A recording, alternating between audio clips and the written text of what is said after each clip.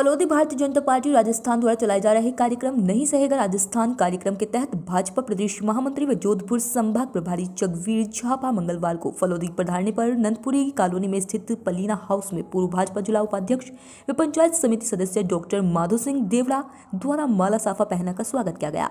इस अवसर पर विचार व्यक्त करते हुए प्रदेश महामंत्री ने कहा कि आगामी एक अगस्त को जयपुर में होने वाले कार्यक्रम में पेपर लीक, बहन बेटियों पर अत्याचार, भ्रष्टाचार एवं कर्ज से मरता किसान सहित अन्य विभिन्न मुद्दों पर धरना प्रदर्शन किया जाएगा। इसमें फलोदी ज़िले के समस्त भाजपा पदाधिकारियों एवं कार्यकर्ताओं को उपस्थित रहना ज़रूरी है। इस अवसर पर गौरव सैनिक भवर सिंह महेचवा सहित भाजपा के पदाधिकारी व कार्यकर्ता उपस्थित थे।